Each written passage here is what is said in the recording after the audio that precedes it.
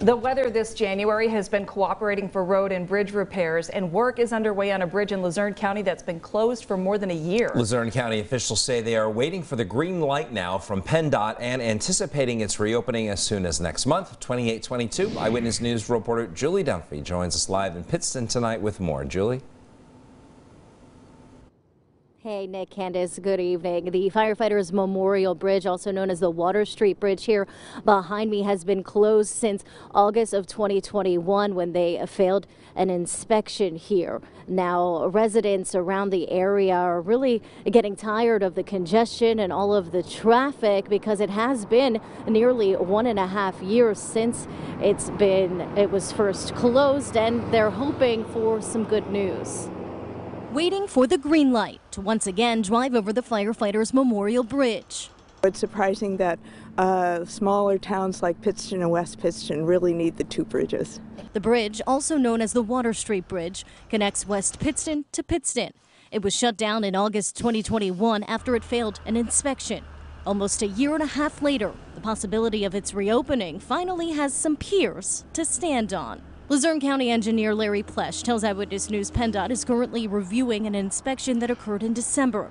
If all is well, Plesh says the bridge could reopen by the end of February with a new weight limit. The weight limit on the Water Street Bridge was 20 tons before the span closed. According to our media partner, the Times Leader, the county's inspection contractor, Williamsport based Larson Design Group, recommends a weight limit of 6 tons. This downgraded limit would still allow safe passage by cars, vans, and SUVs. My biggest concern is that uh, it's safe. You know, it's been closed for so long, so we all, you know, you, you uh, makes you think, it, you know, how safe is, is the bridge. The county expects to hear from PennDOT by the end of January about the possibility of reopening next month. In the meantime, the Water Street Bridge is getting some TLC.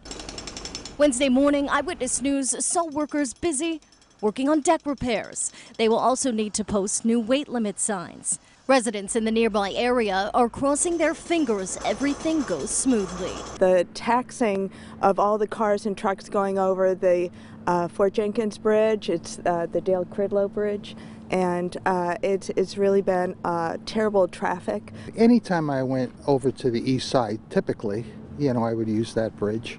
Uh, most of the things I did required me, well, it was easier for me to go over this bridge than the the uh, concrete bridge on the other side.